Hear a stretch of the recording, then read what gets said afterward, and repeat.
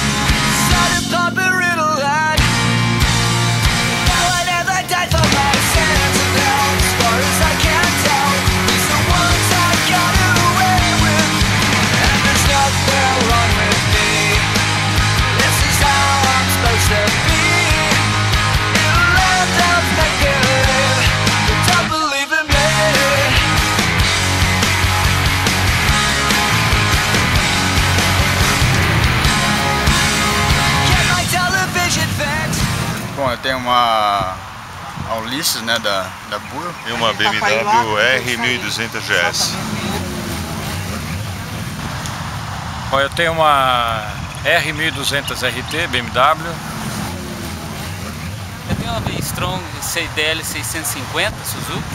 Bom, o lugar mais distante que eu fui, mas não foi pro, pro sul, né? Eu até tenho vontade de fazer um passeio mais, mais longo.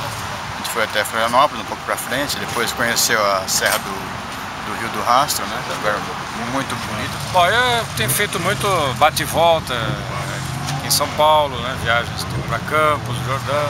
ah, mas por enquanto realmente é só bate e volta. É, eu gosto de fazer viagem interior de São Paulo. Agora, recentemente eu realizei o primeiro dos meus quatro sonhos de viagem de moto. Então a região ali de Ourinhos, Presidente Prudente, estradas boas, locais bonitos, dá pra viajar legal.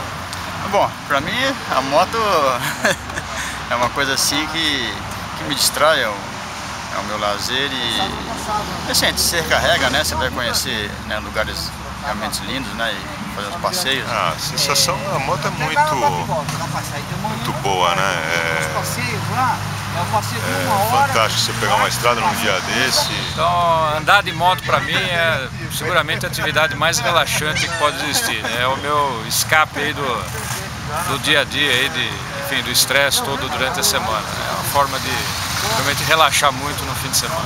A sensação de viagem de motocicleta é a liberdade, né? Conforto, tranquilidade, para onde quer, como quiser.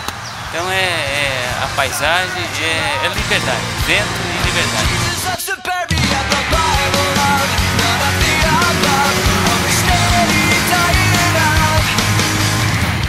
Liberdade, paixão, adrenalina, não tem como negar. Para alguns amantes do motociclismo, viajar de moto é uma mistura de sentimentos, uma experiência inesquecível. No programa de hoje, você vai conhecer um apaixonado por viagens. Com 63 anos, cinco filhos, sete netos e uma disposição de menino, o corretor de imóveis Adilson Garafá, juntamente com o irmão, o filho e mais dois amigos, viajaram para o Chile.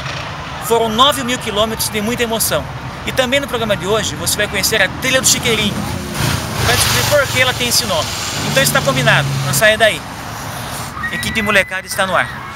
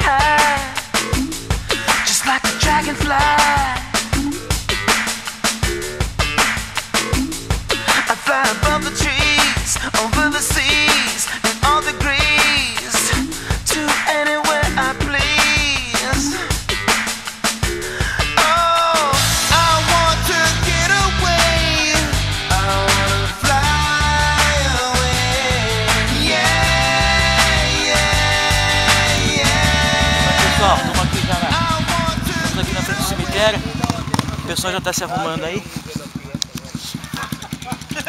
O pessoal se preparando aí para mais uma trilha. E hoje vamos conhecer a trilha do Chiqueirinho. Muita lama nos aguarda aí. Vamos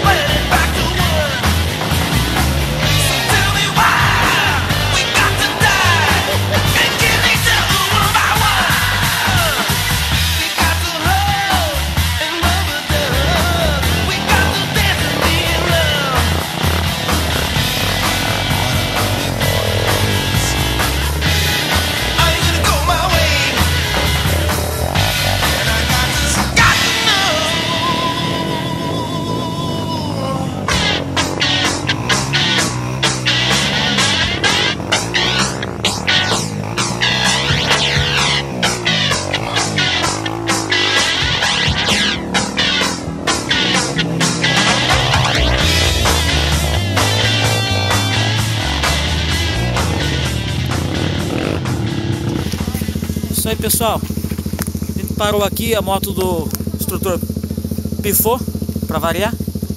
A gente vai tocar agora pro, pro Chiqueirinho, um lugar bastante alagado, porque não chega devido às árvores lá, o sol não, não faz com que seque a, a lama. E a gente tá aqui. O pessoal arrumando a moto ali. Vamos tocar pro Chiqueirinho. A expectativa é que esteja bastante barro, porque semana passada choveu bastante. E vamos ver o que vai dar lá. A gente tá um pouco atrasado. O seu Adilson já tá subindo lá pro Belas Artes, pra Marina. E vai fugir um pouco da hora combinada devido à quebra das motos aí.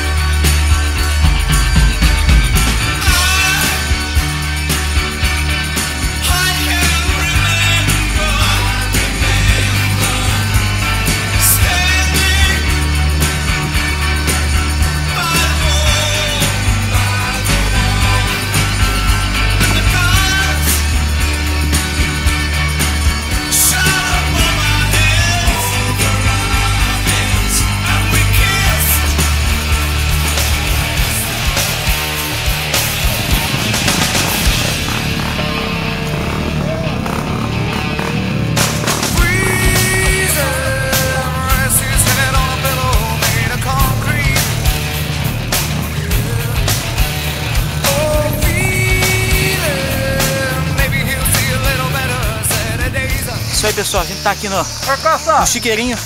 Quem tá faltando? Vocês de casa aí, pelo nome. Vocês imaginam o cheiro que tá isso aqui, ó. É pura lama, pura lama. Barro, barro, barro. Não é à toa que chama esse lugar de chiqueirinho.